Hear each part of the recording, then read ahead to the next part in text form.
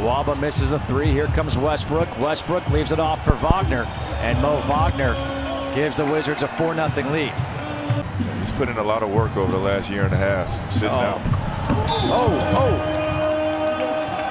Wall went to go pick up Wagner.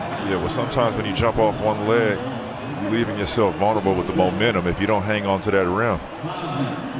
And especially if you get contact anywhere below the shoulders, you can go flying. Remember how they had those four quick fouls with 9.18 left in the quarter?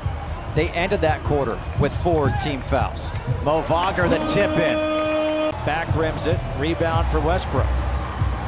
Finds Wagner underneath for the easy dunk. Has a triple double 10 points, 10 rebounds, 11 assists.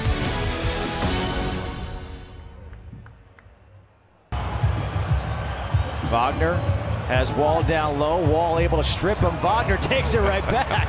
Shoot it. And now Moe for three. There, you it go. is. What you waiting for, Moe? Beal against Tate finds Wagner. Moe Wagner looking for his second three. It's got it. That's a big three right there by Moe Wagner.